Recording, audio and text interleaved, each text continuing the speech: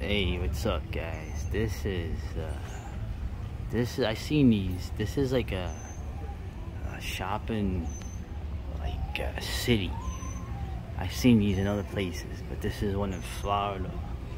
It's, um, they got, uh, yeah, it's like a whole city. Like, you walk through it, it's just shopping and shopping.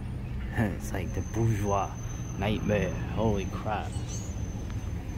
Because, uh, yes, I'm, I'm also here at the Barnes & Noble, uh, just checking it out. But look at this. This is, uh, what are those uh, traffic circles? I hate those, those fucking things. Uh, I think they put a, or what they call them in roundabouts. Uh, they call them traffic circles here, and they suck.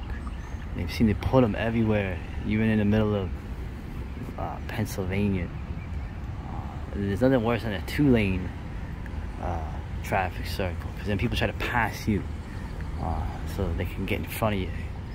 Uh, this is, I guess maybe I should show the good part of Florida, but whatever. Although I am also partaking in the bourgeois comfort, Beverly Hills type aesthetic. So I am also guilty. Belize pizza. What is? I would go exploring, but I really like to not spend too much time here. So, all right. Maybe the palm trees. You should see some of the freaking things they're building too. They're building like whole uh, community places out.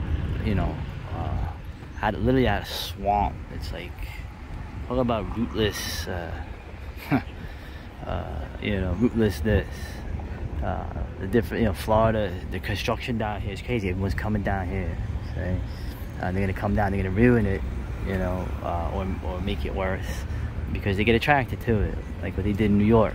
You know, which you could argue is always uh, a den of vipers. But you get what I'm saying. The success of a DeSantis, the success of a Giuliani, right? Uh, it just brings in the people that are going to uh, change that uh, just from the one end. I'm not even talking about what else, what, what follows.